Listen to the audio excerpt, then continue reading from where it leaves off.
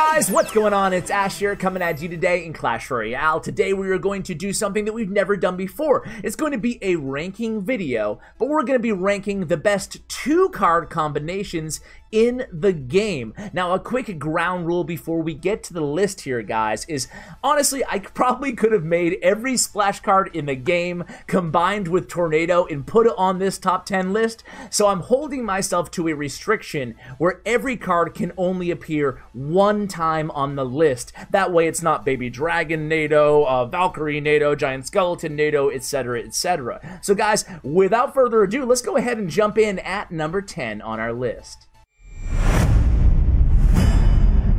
Coming in at number 10 is the tried and true combination of Giant Mega Minion. Now, this is probably the least sexy combo on this list because no one really gets excited about a giant Mega Minion, but what better 8 Elixir push can you put on the bridge when your opponent invests in a heavy beatdown push in the opposite lane? Nothing is really better than the giant Mega Minion combo to have a ton of HP and a ton of point damage. That's why a giant Mega Minion, an unsexy choice, comes in at number 10 on the list. You really can't go wrong with that duo.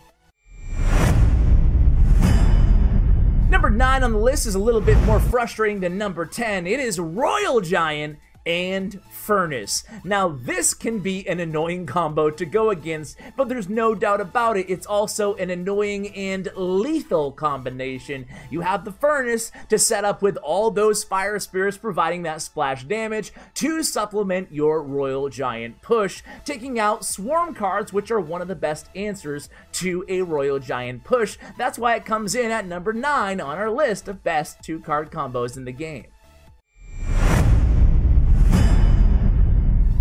At number 8 is the OG combination of Prince and his brother, the Dark Prince. How could I have a top 10 best combo list and not include Prince and Dark Prince? You put them together, it's 9 Elixir, but it can pretty much stop any ground troop in the entire game, or building for that matter, that your opponent could throw at you. Now the downside is, if they throw one air troop at you, you're probably screwed, so just make sure that you supplement that push with a little something in the air, or you have your arrows, fireball, whatever handy. But there's no way I can make a top 10 list without including the two Prince brothers. So that's why Dark Prince and Prince come in at number 8 on this list of best card combos.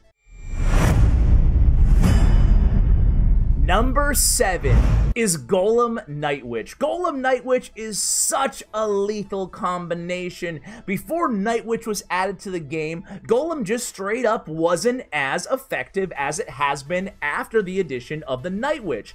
The best thing about the Night Witch is she spawns all those bats, and she can be so annoying to deal with from the opponent. The Night Witch in her bats can do a number against the best counters to a Golem, which are Inferno Tower and Pack P.E.K.K.A. Inferno Tower and P.E.K.K.A. are really not a big deal when you have the Night Witch in Golem combo. The only thing you have to be worried about is, of course, poison or a big spell taking out your Night Witch. Either way, you'll still have those bats to help out on that push with the surviving Golem. That's why Night Witch Golem, really the staple of the heaviest beatdown decks in the game, comes in at number 7 on our list. Let's go ahead and check out number 6.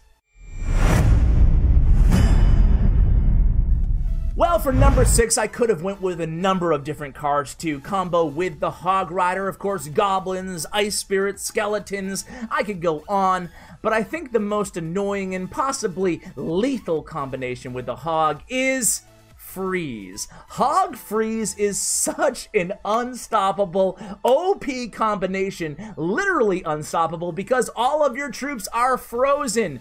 Of course, the element of the surprise plays a big factor into the power of this card combination, but I cannot include this list without including Hog Rider and Freeze as number 6. Let's go ahead and check out number 5.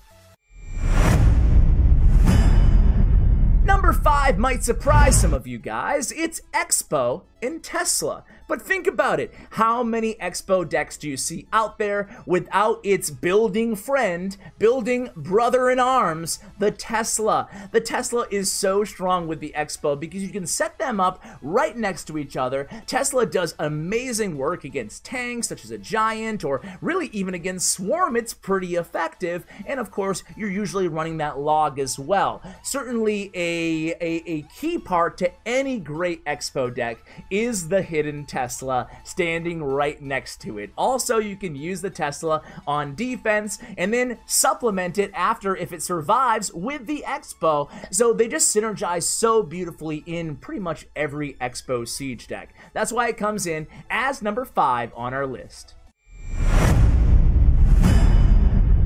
Coming in at number 4 is Graveyard and, any guesses? Poison.